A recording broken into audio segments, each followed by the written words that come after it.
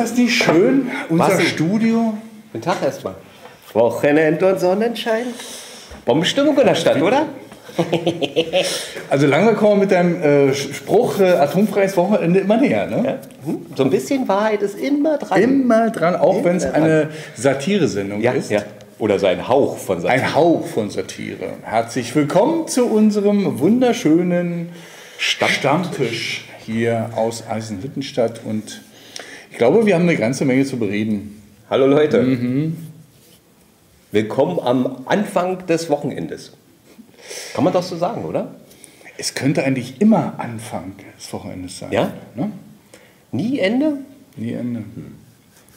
Was gibt's Ich glaube, Neues? viele würden sich freuen, also dieses Dauer, diese Dauerschleife, täglich grüßt das Murmeltier, immer Wochenende. Ja, ja. Es ist ja bei unserer Sendung auch so, wenn man so am Wochenende mal reinschaltet äh, ins OSF-Fernsehen, wir sind immer da. Ständig. Es sei denn, wir überziehen. Dann nicht. Machen wir nie. Ja, ich hatte ja in meiner letzten Sendung eine wirklich, das, also so ein Novum hatten wir noch nie. Wir hatten eine Schaltung nach Argentinien. Die und, ähm, neuen Medien?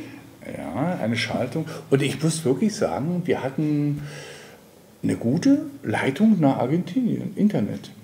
Lag es jetzt an uns oder an Argentinien? In, in manchen Ortsteilen unserer Stadt ist es ja schier unmöglich, so eine Schaltung zu machen. Ja. Ja. Ich, Um hatte letztens, ich hatte letztens ein Studio, da kam mir, da habe ich gesagt, na, wo kommst du her? Ich sag, er kommt aus dem Tal der Ahnungslosen. Und? Er meinte das Bollwerk. Ja, da, da unten ist dann. Also, wenn du mal handyfrei unterwegs sein willst, mal Geh, nicht fahr, gestört, zu, fahr, fahr runter zum Bollwerk runter. Da ist ja übrigens eine Gaststätte da unten. Da ist man dahin. für sich ganz Ja, allein. ja, ne? das ist wunderschön. Da kann man schön aufs Wasser gucken, mal die, Handyfreie Seele, Zeit. die Seele baumeln lassen Ja. und sich wundern, warum ruft kein Schwein an. Sie wissen es, mir jetzt, jetzt wissen Sie es, es gibt noch wirklich Oasen in Ja. dieser Stadt. Handyfreie Zone. Handyfreie ich denke Zone. mal nicht, dass da Pokémons unterwegs sind da unten. Das sind diese. Ah, du bist zu alt. Das würde, Oder kennst du dich das, schon- das ist doch schon wieder Diskriminierung. Ist doch wieder die pure Diskriminierung. Du so ich alt- bin zu alt. Altersdiskriminierung? Kann man da auch schon von Diskriminierung sprechen? Alles, was nicht von der Mainstream, was alles abweicht, ist alles Diskriminierung. Was? Also ich könnte dich jetzt glatt, Was? vom, also Platzverweis. Nein. Nein. Übrigens, Platzverweise kann Was es auch beim Stadtfest geben. Wie? Was heißt das Platzverweis? Und vor allem, wer spricht die aus? Die Polizei. Also Platzverweise kann grundsätzlich nur die Polizei aussprechen. Also zu dem Thema kommen wir ja noch, weil äh, es gibt ja eine erhöhte Gefahrenlage, so wie man sagt, oder gab es äh, hinsichtlich des Stadtfestes. Und ähm, das wird, wird sicherlich ein Thema sein. Am Dienstag gab es ja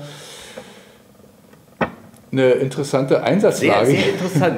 Ja. Also, Wie hast du davon mitgekriegt? na, ich bekomme ja st- ständig Facebook, Facebook, ne? Ja. und die Nachrichten, das Ja. ist 13 Uhr, Punkt 13 Uhr, mein Telefon ohne Ende hat nur noch vibriert. Also Also bin du- ich selber gucken gefahren. Na logisch, Bist selber gucken ja, gefahren. natürlich. Also an, aber du bist ja nicht rangekommen, war ja, die Straße war ja, Ich hatte ja doch das Glück, Gesperrt? äh, also äh, es fand ja fast vor unserem Haustür statt, vor unserem Studio. Also ich hatte heute schon überlegt, ob ich meine Schwimmweste anziehe und äh, äh, hier in diese gefährliche Zone eintrete überhaupt. Also die, die Schwimmweste sollte Schutzweste sein. ja, ja, ja, klar. Ja Prost. Prost. Ja, Prost Wochenende. ja ähm, soll ja Brückenfest sein, ne? Jetzt dieses Wochenende. Ne? Hm? Ist da auch äh, Gefahrenlage erhöhte?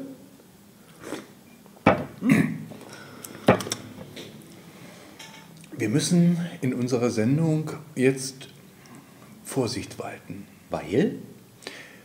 Wir wollen die Menschen nicht verunsichern. Auch wenn es einen Hauch von Satire gibt bei uns. Wir müssen würdevoll mit diesem Würdevoll. hm, du bist ja heute ein Schelm. Also, ganz interessant. Also, wir gingen unserem Tagewerk nach, Ja. ja dem, am Dienstag. So. Und wir guckten dann schon mal, da fuhren dann schon mal die Polizeiautos so ein bisschen mehr als sonst. Und Ja, was ist denn da, was ist denn da? Und da ging ich da schon mal raus ne? und guckte um die Ecke und so, hm, da stehen ja auch noch da schräg gegenüber Poststraße, ne, ein paar Fahrzeuge. Und dann wurden das immer mehr. Und dann schnappte ich, ich hatte leider mein, meine Kamera nicht bei, die habe ich dann erst geholt. Hast du mit dem Handy Ich habe erstmal, ich habe ein sehr schönes Handy, ein sehr gutes Handy mit, mit wunderbarer Videofunktion. Hat er nicht. Doch, Nein. mit wunderbar, wunderbarer Videofunktion. Wird noch mit Kohle betrieben. Dynamo. Ähm, ich rüber, zack, und äh, gefilmt, gefilmt mit dem Handy. Ne? Auf einmal kam mir einer mit einer Waffe entgegen, also zivil, Waffe, und schreit mich an. Was du da willst. Ich habe sofort das Videomaterial zu löschen. Oh. Ich sage, nee. Und dann hat er durchgerissen? Nein, er hatte ja er hatte keine äh, Langwaffe, also so eine Kurzwaffe. eine Kurzwaffe. Also die habe ich auch gar nicht gesehen. Er kam auf mich zu. Ja. Achso, Äh, das hat er dann gezeigt, oder was? Nein, nein. So wie im Film. Nein, nein. Das, Mein Ausweis. Ähm, und äh, das war ja, wie gesagt, also im Hinterhof für, für, von der Poststraße standen noch mehr äh, Polizisten darum. Ne? Und er sagte zu mir, ich habe das Videomaterial zu löschen. Ich sage, nee, mag ich nicht. Und? Na, was? Das? Hat er sich da aufgeregt? Der hat sich nicht vorgestellt. Er hat weder gesagt, wer er ist.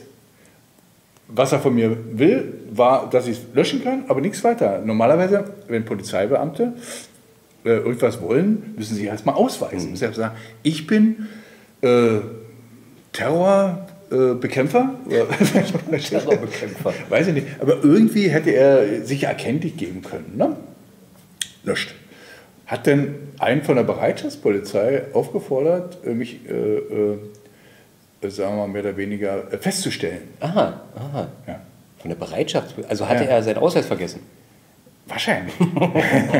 also irgendwas war. Und woher weißt ja. du, dass er eine Waffe hatte? Wie ist er da? Äh, Fuchtelnderweise damit rumgerannt? Ich bin, ja, ich bin ja dann mit den von der Bereitschaftspolizei, waren zwei, die Ja. mich dann äh, Wie hier, so richtig? richtig Ja? abgeführt haben. Nein. Ja? So mit Handschellen? Nein, nein, Handschellen haben sich nicht getraut. Also, ähm, und dann sagte ich, ja, Ihr Kollege. Und dann sagte der zu mir, na, den kennen wir nicht. Ich sage, ja, aber woher wollen Sie denn? Ja, der hat doch noch eine Waffe bei. Das war dann die Erklärung. Wie? Wenn du eine Waffe in Deutschland hast, kannst Bist du, bist du automatisch Bist du weisungsberechtigt? Äh, weisungsberechtigt weil du Nicht höhere. Kraft hast. Ah, aha. Ja. Je länger und größer die Waffe, umso mehr. Jedenfalls begleiteten sie mich hier zum Studio. Ich wollte mal, weil ich habe ja in dem Augenblick in dieser Aktion eben auch meine Papiere nicht bei gehabt. Äh, praktisch mal- nackt. Ich war, äh, äh, war nackt. Und jeweils kamen sie dann mit Waffen hier vom Studio ne? und äh, ich meinen Ausweis, meinen Presseausweis gezeigt und, und meinen, meinen anderen Ausweis gezeigt und, und äh, fand ich dann sehr eigenartig. Ich sage, äh, wo sind wir denn? Ist das jetzt irgendwie ein Abgesandter von Erdogan, der hier machen kann, was er will? Verstehst du? Das also, also Polizei kann schon was tun, aber dann müssen sie auch mal ihre, ihre Reihenfolge einhalten, sich auch mal ausweisen. Ne? Dass sie sagen, okay, ich bin, ich bin hier Einsatzleiter und so was. Vor allem, wenn aber, die sich nicht kennen untereinander. Ich meine, wie gesagt, du, du Naja, er war vom, wahrscheinlich vom SEK, keine Ahnung. Und der andere war von der Bereitschaftspolizei. Oder stand das an seiner Stirn? Nein, nein, das war zivil, komplett in Zivil. Ne? Hatte nur den Spaßmacher bei. Ja, und war, war ich einen lustigen Nachmittag gehabt. Und äh, ja, nach dem Ausweisen habe ich dann meine Kamera, die große Kamera genommen. Und dann war aber schon alles abgesperrt. Dann bin ich also in diesem Bereich auch nicht mehr Na, den, in dem Moment muss ich dann rangefahren gekommen sein. Und äh, äh, dann auf einmal äh, habe ich am Telefon, denn per Mail hat man uns mitgeteilt, wer der Pressesprecher ist, weil ich habe ja dann gesagt, ich möchte gerne einen Einsatzleiter sprechen. Das steht den Medien zu, also den Einsatzleiter zu sprechen. Das ist Pflicht. Das müssen Sie, da müssen Sie was äh, dazu Aber da gab es keinen Einsatzleiter. Da war jeder Einsatzleiter. Zivile Leute mit großen Pistolen waren alle Einsatzleiter. Aber keiner wollte mit mir sprechen. Aber egal. Dann äh, habe ich dann den Pressesprecher noch am Telefon er- erreicht, der wusste gar nicht. Der war auf dem Weg hierher. Also es war so eine richtige, wie sagt man, Ad-Hoc-Aktion. Also Sehr dubios, oder? Also wenn ich das jetzt so höre, ist es mir sehr schleierhaft. Äh, Wer hat denn dann diesen Einsatzbefehl gegeben? da komme ich noch drauf, da komme ich noch drauf zu sprechen. Das habe ich hier alles recherchiert, alles rausbekommen. Ne? Dafür sind wir ja auch hier in unserem Stammtisch mal Fakten zu diskutieren. Ah, ja, ich, aber in der Reihenfolge weiter. Dann ähm, habe ich einen Pressesprecher am Telefon gehabt, der hat mir dann ein paar Sachen bestätigt. Das habe ich dann sofort auf Facebook veröffentlicht, wo dann mein Facebook-Account also von OSF Busch in die Höhe schoss. Und äh, dann habe ich schon gemerkt von anderen Auftritten, Medienauftritten, irgendwas ist hier voll. Jeder schreibt was anderes. Was heißt nicht anderes? Nee, anderes nicht. Die haben ja immer weiter dann. Genau, die haben immer aufgebauscht. Mhm. Also einer hat was geschrieben. Die der Geschichte nächste hat von 100 was, ja. Genau. Es gab, es gab tatsächlich keine gesicherten Informationen. Und jeder hat noch für irgendwas dazu gedichtet. Mhm. Weil sie hatten ja keine Leute vor, Leute vor Ort. Ne? Also da muss man ja, um, ich verstehe auch die Journalisten, die jetzt in, in, in München, Berlin oder sonst was sitzen, Mann, da ist ein... Stuttgarter Presse, ja. da war, die ist richtig, als fast als erstes mit äh, aufgetreten. Also müssen die irgendwas aufgeschnappt haben, weiter aufgebaut und dann... Naja, es gibt ja DPA, ne? DPA macht ja dann, ja. Und, und die sind ja an diesem Netzwerk angeschlossen und die ziehen sich das äh, raus. Ne? Und wenn einer was, und das RBB hat zum Anfang gleich die Nachricht rausgehauen, Anschlag auf Stadtfest. Stadtfest. Naja, haben sie gleich in Verbindung gebracht. Ich fand es sehr verantwortungslos, muss ich wirklich sagen, zu dieser Situation das gleich mit dem Stadtfest zu verbinden. Ähm, angeblich soll der Innenminister und weiß ich äh, irgendwelche Dinge geäußert haben. Was ich mir nicht so dumme, so eine Dummheit kann ich mir Aber vom ist Minister dann, nicht vorstellen. dann schlecht recherchiert. Das als nächstes wäre doch das äh, Brückenfest gewesen. Ich meine, hätten sie es doch damit oder irgendwelche Festivitäten. Ja, das Brückenfest ist bei denen nicht so bekannt wahrscheinlich. Ja, ja weißt du? also das ist, läuft unter seiner schlecht recherchiert. Ne? Ja, jedenfalls.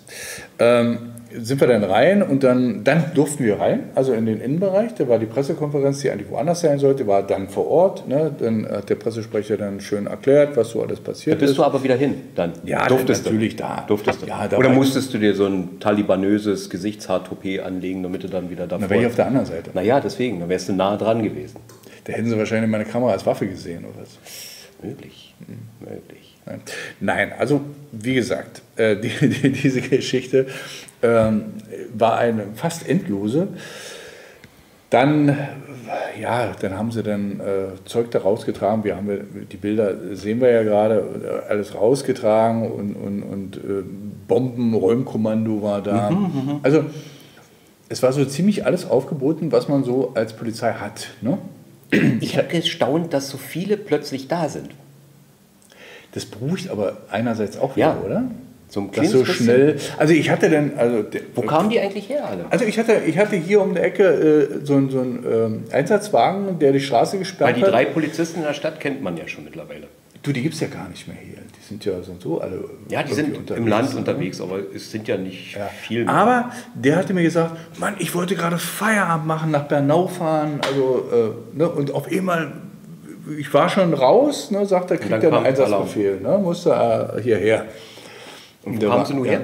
Und da sollen sie mit Affengeschwindigkeit über der Autobahn geballert sein. Also da haben sich auch Leute dann noch drüber aufgeregt. Und ja, was soll's. Ähm, die müssen ja irgendwie vor Ort kommen. Aber es war so, ich, ich, ich weiß nicht, ob man das so sagen kann, das war so ein bisschen, ähm, äh, es kam einem un unorganisiert vor. Also als ob man jetzt so von, von einer Minute zur anderen sagt, jetzt machen wir einen Großeinsatz. Mhm, mhm. Ne? Also schlecht vorbereitet. Also wie, wie, wie im Grunde genommen, wenn die Feuerwehr äh, Alarm kriegt, es brennt. Die rennen, rennen erstmal los. Rennen erstmal los. Ja. Ne? Kriegen die dann unterwegs dann die Meldung, was, ja, was, sie, was sie mitzunehmen ja? haben, obwohl sie schon alles bei haben. Ja. Und dann äh, vor Ort äh, hat man dann so langsam mitbekommen, um wen es sich handelt, was so geht. Ne? dass also äh, als Sprengstoff. als du mir das rübergeschickt hast, äh, ja. da deine Anfrage, ob ja. ich noch weiß, ja. damals mit dieser. Du weißt ja, wir hatten ja, wir hatten vor einigen Wochen einen jungen Mann hier im Studio stehen. Mhm. Dieser junge Mann äh, war eindeutig äußerlich als is islamistisch oder islam... Muslimisch. Nee, nee, also naja, muslimisch sieht dann wieder... Also die Moslems haben ja ganz normal... Also ja. wenn den strengen, den man den strengen Glauben, Glauben hat, dann hat man ja, auch äh, ein bestimmtes Aussehen genau. mit Käppchen drauf und, und, und lange Gewänder mhm. und so, ne? so, wie man sich so einen Taliban vorstellt. Mhm. Ne? So, so visuell. Mhm. Ne? So, so wie aus dem Buch. Wie aus dem ja, Genau. Und ich wollte schon im leichten Englisch anfangen, mit ihm zu sprechen. Und dann sprach er mit mir Deutsch. Eisenhüttenstädtisch. Ja, selbst Eisenhüttenstadt hat so kleine Aussetzer beim Sprechen. Stimmt, die kriegt man raus. Weltweit. Okay. Und dann sagte ich, ja, äh, da war ich erstmal ein bisschen verdutzt. Hab das erstmal nicht so richtig gerafft. Ich sagte, ja, was, was, was wollen Sie denn? Naja, er möchte gern, dass wir ähm, über, er wollte in, in, in der Lindenallee einen Stand aufbauen und dort den Koran verteilen. Genau. Ja?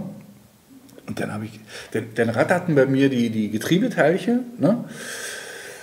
Und da habe ich überlegt, ich habe ich hab den Fakt gesehen, junger Mann, islamistisches Aussehen, konvertiert, Eisenhüttenstädter, hier groß geworden. Hat er dir gesagt, dass er konvertiert ist? Oder? Ja, ja. Aha, Ja. gleich in einem Atemzug, hallo hier. Nein, wir sind ja dann aus Gespräch gekommen, weil ich Ihnen dann angeboten habe, du äh, komm in meine Sendung hier.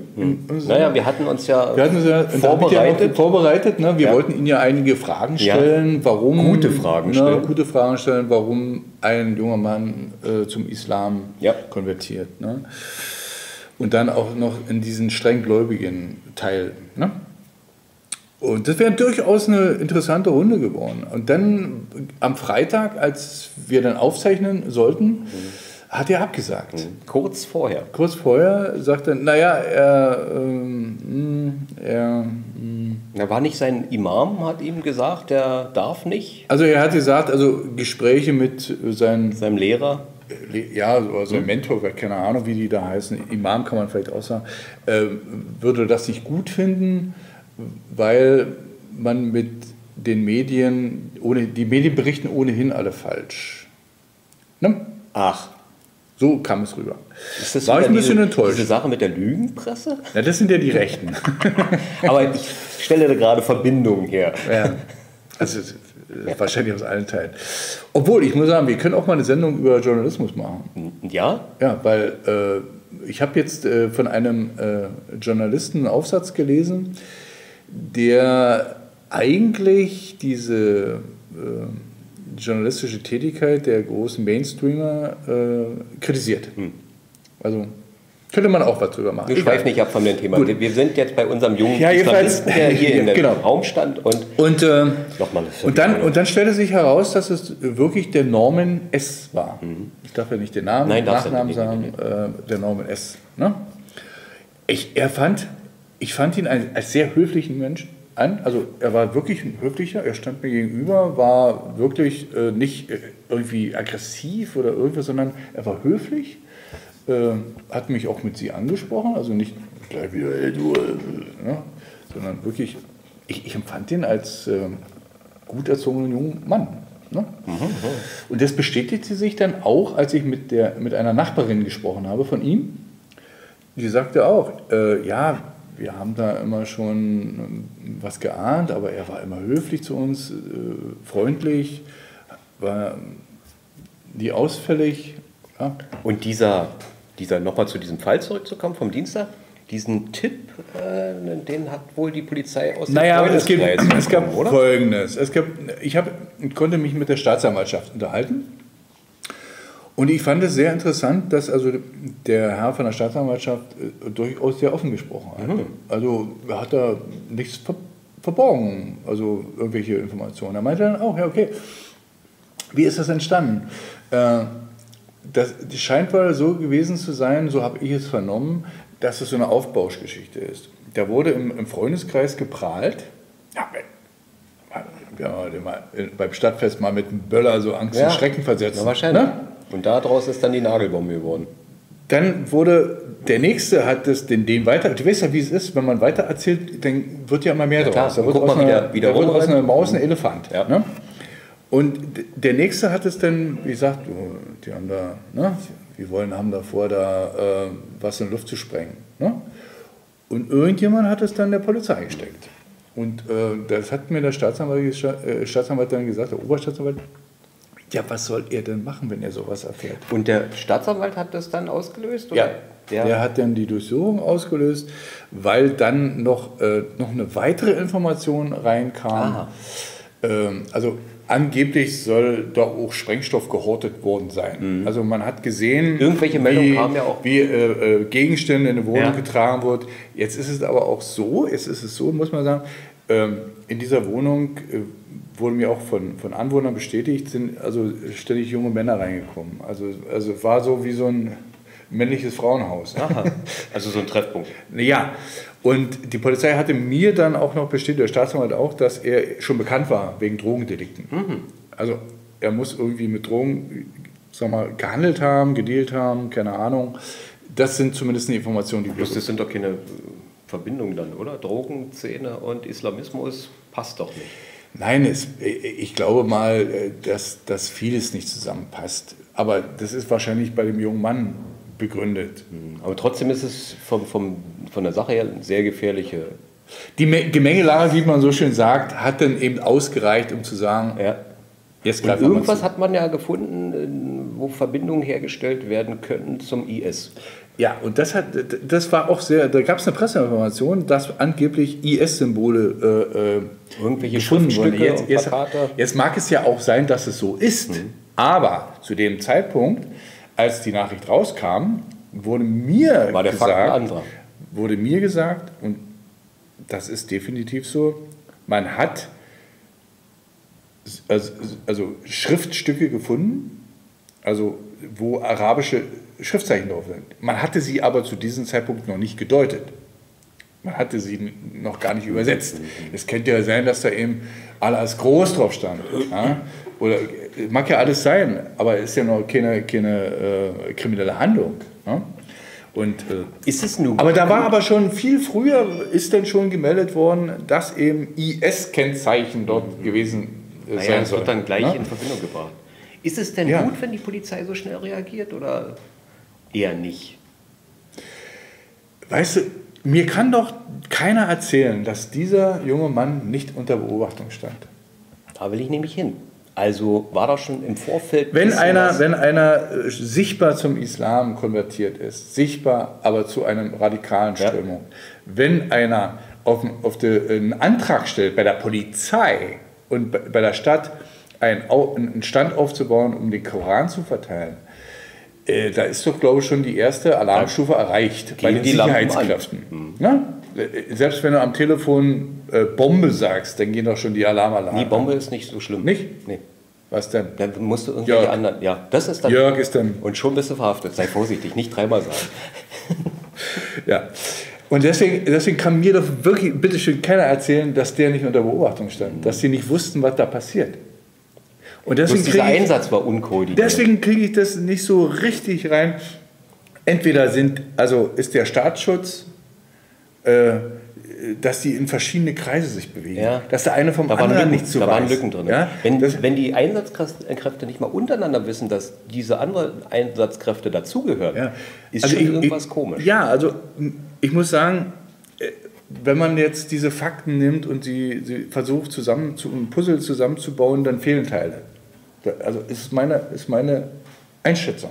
Und so kam das auch wirklich rüber bei diesem Einsatz. Er war deutsch organisiert, aber irgendwie nicht koordiniert. Ich weiß es nicht. Seltsam, seltsam. Ja, und der, wie gesagt, also, da habe ich mich mit, auch mit dem Staatsanwalt äh, unterhalten, der dann meinte, ja, was soll er denn jetzt machen? Jetzt ist er festgenommen, jetzt untersuchen sie ihn. Äh, auch ähm, wie den, in den Medien sagt, er darf nur 24 Stunden festgehalten werden. Stimmt auch nicht. Also hat er gesagt, das ist, äh, Blödsinn. Hm, Das dem Äh, Es gibt nur zwei Sachen. Entweder, ähm, entweder muss ja am nächsten Tag äh, den Haftrichter vorgeführt werden oder muss freigelassen werden. Also, äh, Wenn dringender. Verdacht besteht, Anders bleibt er drin. nicht. Nee, sie dürfen eben nicht feststellen. Nur, die äh, darf nur entweder freigelassen werden oder er, er ne? muss, er doch, muss dem Haftrichter vorgeführt werden und der Haftrichter guckt sich äh, die Unterlagen an Mhm. und sagt ja oder nein. Und da hat, hat die Staatsanwaltschaft gesagt, wir haben hier nichts. Die haben, und und das war auch wieder in den großen Medien zu sehen, äh, zu lesen, 37, angeblich 37 äh, äh, pyrotechnische Erzeugnisse. Aha, 37. Ja, stand drin. Komische Zahl. Vollkommen, nee, die Zahl 37 gibt es ja. Aber die, Die haben- gibt's. Ja, ja. Äh, aber das waren 37 Gegenstände, Mhm. die man da rausgeholt hat. Und es waren zwei Polenböller. Mhm. Na gut.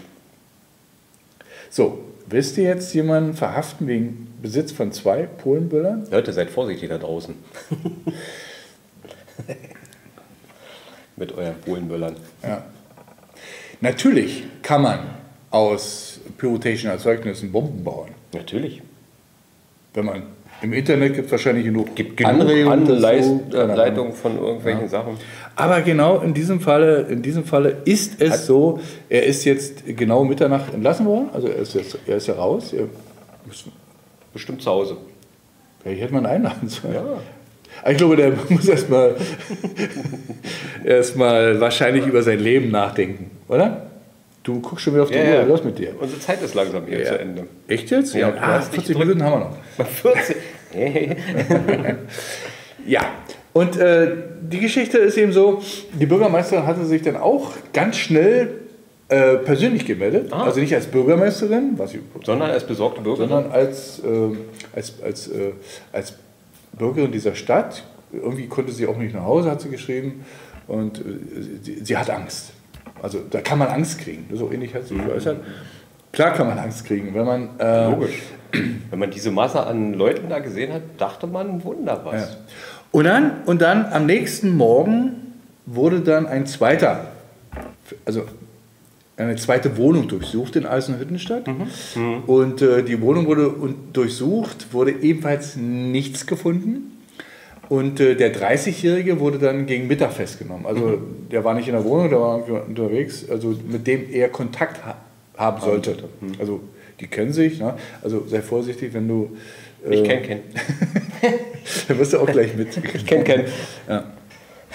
Mich So, jetzt kann, es, jetzt kann es natürlich sein, dass die eben vielleicht vorhatten, auf dem Stadtfest diese zwei Polenböller zu. Ja? Also zwei, zweimal ein großer Knall kann natürlich zu eins führen. Panik. Panik. Und dann werden Leute totgetreten. Und dann haben wir die Bilder im, Kopf. Richtig. Äh, Love Parade. Ne? Ja. Ja. Also ich glaube, dass, äh, äh, Was Wahres ist dran dass dieser, Geschichte? dass dieser äh, zur DDR-Zeit hätte man vielleicht gesagt, dummer Jungenstreich, ne? wenn man so eine Böller jagt. Ja. Aber mit in, dem der, in der Hintergrund- heutigen Zeit, in der heutigen, Mit dem also Hintergrund ich, ich glaube nicht, dass sie töten wollen. Das glaube ich nicht. Da bin ich äh, absolut. Dazu würde ich ihn gerne befragen. Und das ist es. Also ich würde gerne, wenn, ich, wenn wir ihn kriegen, Wenn wir ihn kriegen. Ja, es Das kann ja so, ja. sein, dass der Imam auch wieder sagt. ja, aber äh, vielleicht ist er ja bereit zu sagen, Mann, ich stelle mich Mhm. Und ich sage, warum ich das, was denn, was meine Beweggründe waren, warum ich das gemacht habe. Oder wir erfahren noch ganz andere Dinge, die so keiner weiß. Nur wir. Ne, alle dann. Nein. Alle. Ist ja geheim hier. Ist ja alle. Ja, und es geht ja weiter. Wir hatten ja jetzt auch noch, äh, vorhin hast du es ja mitbekommen, haben wir noch mal schnell mit, der, mit dem Ordnungsamt gesprochen. Äh, die, hab- natürlich stellt sich die Frage, Großveranstaltungen, Sicherheitslage, Mehrere erhöhte Sicherheitslage. Da haben wir natürlich auch äh, den, ein Statement vom Innenminister. Ja, der sagte, äh, dass man vorhat, natürlich auch mehr Sicherheitskräfte auf die Straße zu bringen. Wie es sein wird, das gibt es jetzt am kommenden Dienstag eine Sicherheitskonferenz in Eisenhüttenstadt. Dort kommen nochmal alle Also Sicherheitskräfte Leute, zusammen. wundert euch nicht, wenn fremde Menschen eure Rucksäcke ja, kontrollieren und, wollen. und eines wurde uns schon gesagt, es wird Taschenkontrollen geben. Auf jeden Fall. Ja. Und wer sich weigert, muss damit rechnen, einen von der Polizei von einem, also einen Platzverweis zu bekommen. Also vielleicht ist es besser, gar keine Taschen mitzunehmen. Das ist sowieso das Beste. Ja. Keine Übrigens, Glasflaschen und im Oktoberfest gibt es ja diese Situation. Richtig. Rucksackverbot, Ja. Taschenverbot ich und Einzäunung. Ja. Ja. Ähm, Einzäunung, damit sie nicht raus ja, die dürfen. kriegen alle so vier Quadratmeter. Dann werden sie kontrolliert. Ist gut Ja. Dann kriegen sie ihr Bier hingestellt. Und die Weißwurst. Die Weißwurst. Ja, die Pelle können sie über den Zaun schmeißen. Zum anderen Nachbarn. Jedenfalls wird aufgepasst auf uns. Ja. Äh, aber jetzt ist erstmal, es ist erstmal äh, Brückenfest. Ja, dieses Wochenende ist Brückenfest. Und da hatten wir ja schon das Thema, eventuell das letzte. Ja, das Wetter soll ja wieder schön werden, wie immer am Brückenfest. Du meinst, das ist jetzt sarkastisch. Nein, Sarkastisch. immer. Also Brückenfest hatte immer schönes Wetter. Ich glaube, nur einmal war Regen. Ansonsten hatte den Regen immer das Stadtfest abbekommen. Ich habe es anders gehört, aber egal. Du hast es anders gehört? Es gibt Gerüchte. Gerücht. Wettergerüchte. Die Wetterküche brodelt. Wetterküche, nicht bloß die Gerüchteküche. Hm. Naja. Äh, jetzt habe ich aber schon von den Gastronomen gehört, die sagen, na, wenn die kein Brückenfest mehr machen, dann wollen wir, die wollen ja noch Geld verdienen, Gastronomen. Na, logisch. Dass sie dann eventuell einen Rostplatzfest machen. Hm, na, früher gab es ja dieses Sommerfest äh, direkt auf dem Marktplatz. Hm? Ja. Wahrscheinlich sowas ähnliches. Also Ist nicht ganz so groß. Man, man, also es wird, So der Bürgerverein Fürstenberg wird vielleicht das Brückenfest nicht mehr machen können, Nee, aufgrund der demografischen Entwicklung. ja. Äh, aber ich, äh, ich glaube, die Gastronomen werden sich das nicht nehmen lassen und werden dann sagen, Mensch, wir machen doch noch Mhm. Ist ja doch eine feste- so ein Fürstenbergfest, so Größe. Innenstadt, keine Ahnung. Ja. Überall mal ein paar Würstchenbuden aufgestellt. Ja, so ja, ist ja, ist ja auch gar Wie nicht der so Weihnachtsmarkt da oder? so. Warum- nicht? Nee, nee, also wahrscheinlich vom Markt bis Rostplatz kann man doch zwischendurch die Geschäfte auch offen haben. Also Wenn noch welche da sind. Ich finde ja immer gut, wenn man neue Ideen entwickelt. Mhm. Ist doch schön, oder? Mal wieder was anderes. Brücken, das 20. Brückenfest, Ja. dann ist auch mal Schluss. Dann ist auch mal Ne? Schluss. Die Brücke will auch mal Ja, Ruhe haben. Ja.